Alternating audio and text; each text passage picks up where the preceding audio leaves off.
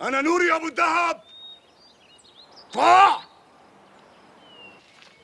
اسمع يا نوري! أنا لا بدي إقتلك ولا بدك تقتلني. أنا بحترمك وبعزك كتير. فحمل ضرب طريقك وروح ارجع لحارتك. لك وينك لك غدار؟ أنا مالي غدار. افهم واسمع منيح. أنا مالي غدار يا نوري. أنا هلأ شايفك وأنت مالك شايفني. يعني أنا بقدر أعنصك واقتلك بأرضك. بس أنا ما بقتل ابن حارتي. تذكر يا نوري إنه طول عمرنا أصحاب وأخوة. وأنا ما بقتل ابن حارتي.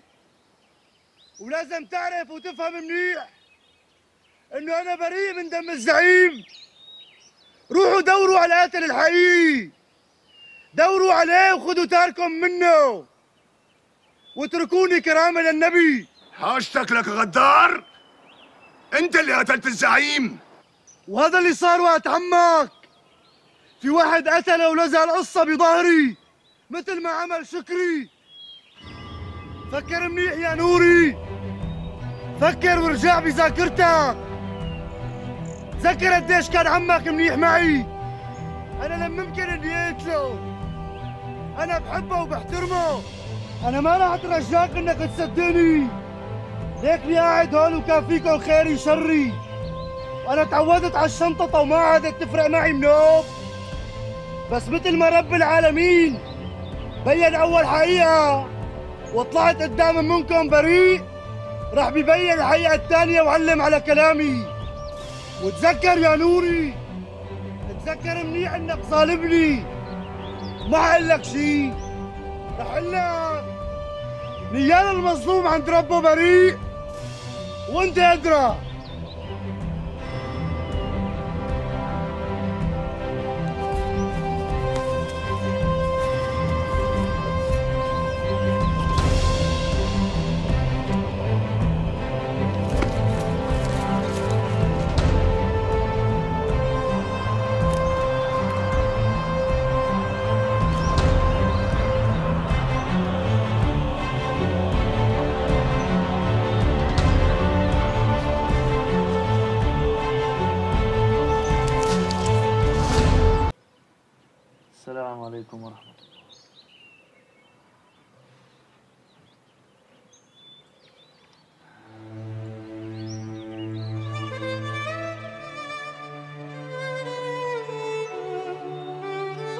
يا رب.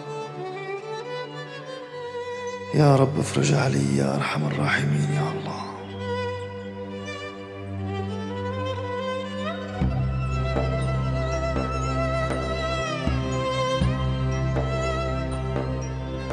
الله يصلحك يا نوري.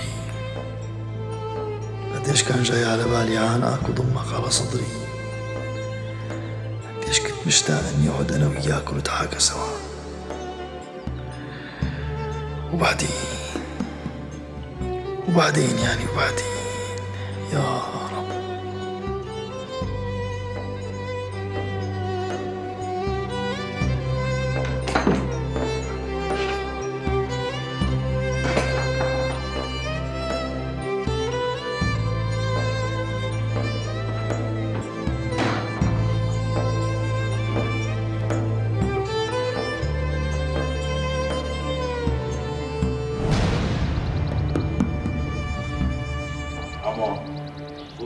كاسي فضي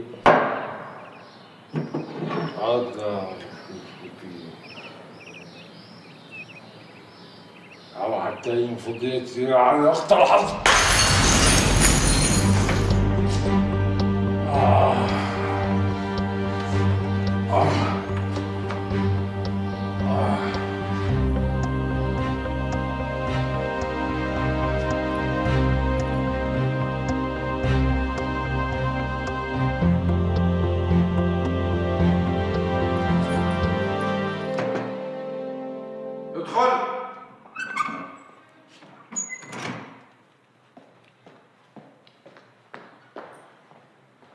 في رامي سيدي؟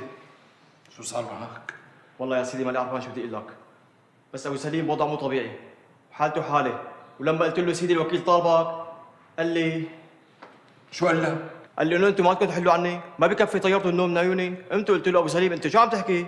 قال لي سلم على الوكيل تبعك قول له إني ماني جاي روح جهز الحنطور تبعي وجهز دورية. بدنا ننزل على العماره فورا. أمرك سيدي.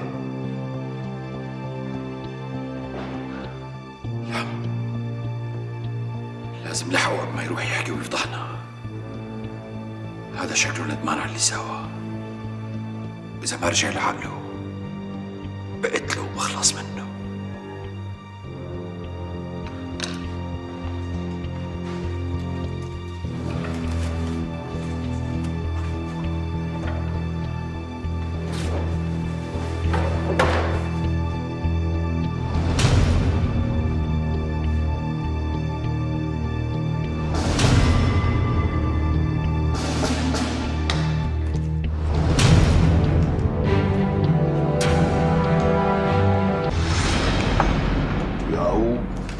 شو زعيم؟ اسمع بتروح بتدق على أهل الحارة بيت بيت وبتقول لهم بلا ما يزينوا على العيد عيب لك يا يعقوب تربة يونس الله يرحمه لسه ما نشفت.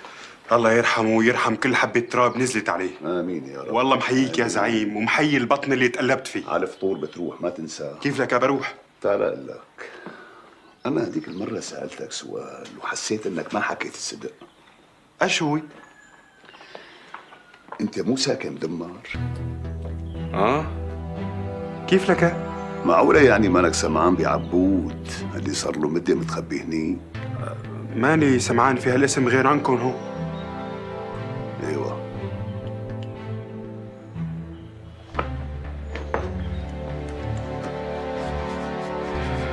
يا حزيني أنا. الله يستر الله يستر.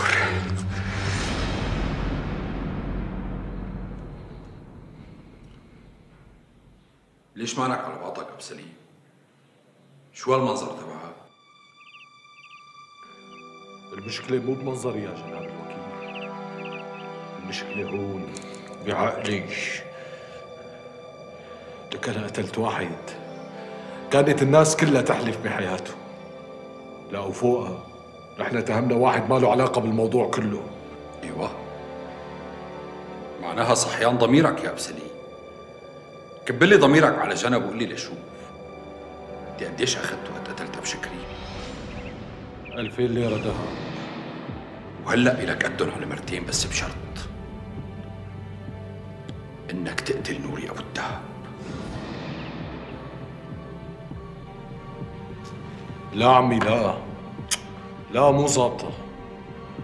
لا يا أنا ماني مصدق إني أخلص من شغلة أبو شكري. يطلع لي كمان نوري لك الزعيم أبو شكري. عم يطلع لي بالمنام.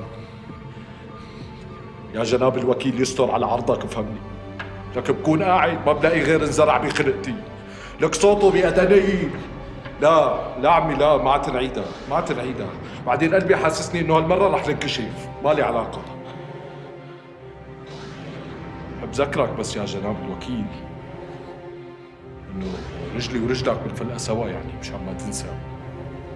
وأنا بحب ذكرك إنه أنا هلأ فيني آخذك لعندي على الحبس. والدبان الأزرق ما بيعرف طريقك. بس أنا بحبك. وأنت بتعرف إني أنا بحبك. مشان قصة قتل ابو شكري أنا لا كنت ولا شفت. أنت اللي قتلته بإيدك. وأنا ما قررت. ولو قلت للشام كلياتها إنه الوكيل طلحت له علاقة بالموضوع ما حدا رح يصدقك. بقى حليب معي صافي لا أحلب معك صافي. اليوم عبود كان فيه يقتلني. كان هو شايفني وأنا ماني شايفه. يعني لو كان بده يقتلني كان قتلني. وهي الحركة ما بيعملها إلا الزقرت يا الله يا نوري. ليش هيك عم تتخربط معك القصاص؟ ولازم تعرف وتفهم منيح. إنه أنا بريء من دم الزعيم. فكر وارجع بذاكرتك. تذكر قديش كان عمك منيح معي؟ أنا لما ممكن إني أقتله. أنا بحبه وبحترمه. بس مثل ما رب العالمين بين أول حقيقة وطلعت قدام منكم بريء رح بيبين الحقيقة الثانية وعلم على كلامي. عبود عم بيعرف كل شي عم بيصير بالحارة. شلون وكيف؟ شلون وهو قاعد بدمار؟ في شي عم بيصير ما عم بفهمه. معقول يكون عبود مو هو اللي قتل عمك؟